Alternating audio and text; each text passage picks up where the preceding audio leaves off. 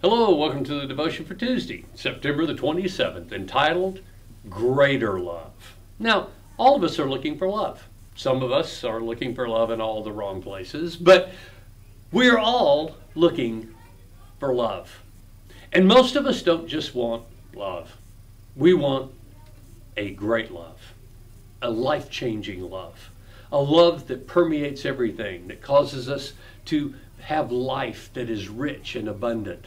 Now, in John 15 12, Jesus says these words My command is this. Now, there's a strong word. Command is this Love each other as I have loved you. Greater love has no one than this, that they would lay down one's life for their friends.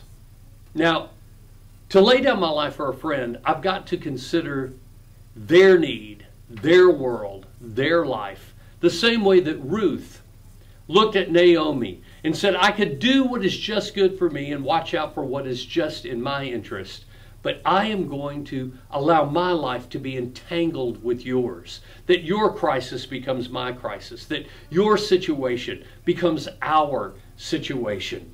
And together we can have a greater outcome and a greater effect than either one of us could have individually. It's not just about me, it's about us and how do we thrive and how do we move forward.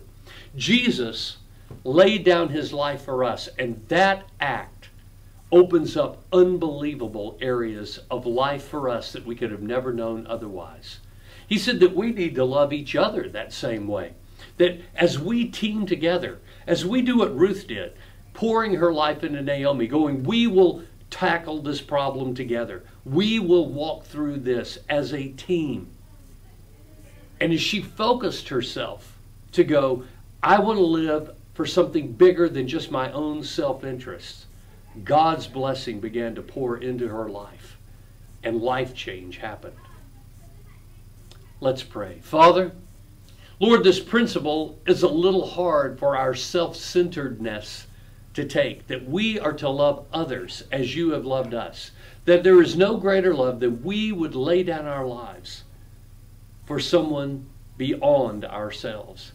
And yet, Lord, you've said that when we do that, we find a life that is rich and full. Lord, to live beyond ourselves is to find life that is transforming.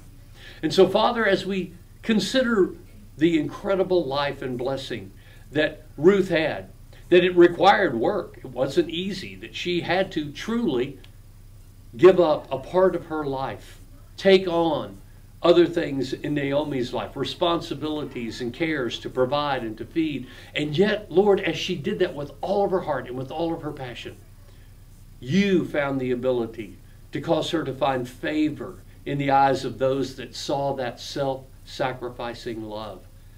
And the result was incredible blessing for everyone. God, open our eyes to the power of following out your commands. In Jesus' name, amen. This is a command. Love others the way that you have been loved by God. It's powerful. And I'll see you tomorrow.